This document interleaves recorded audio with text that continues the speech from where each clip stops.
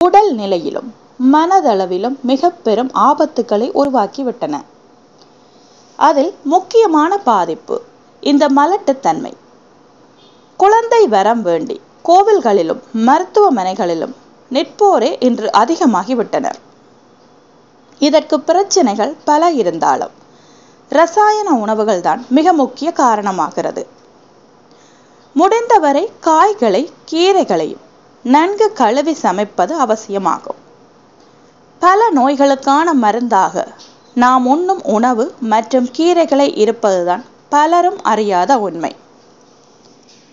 அந்த வகையில் மலட்டுத்தன்மை இனை போக்கக்கூடிய அருமருந்தாக இந்த முள்ளங்கி கீரை உள்ளது.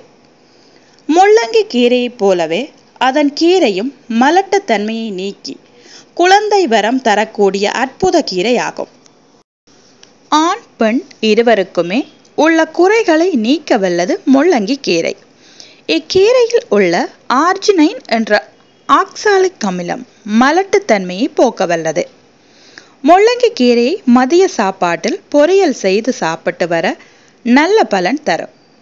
இரவில் தலா இருநூற்றி ஐம்பது மில்லிகிராம் முள்ளங்கி கீரை கேரட் சாற்றில் இரண்டு தேக்கரண்டி தேன் சேர்த்து அருந்திவிட்டு இரவு உணவை சாப்பிடவும். இதனால் தாம்பத்தியத்தின் ஆர்வம் அதிகரிக்கும்.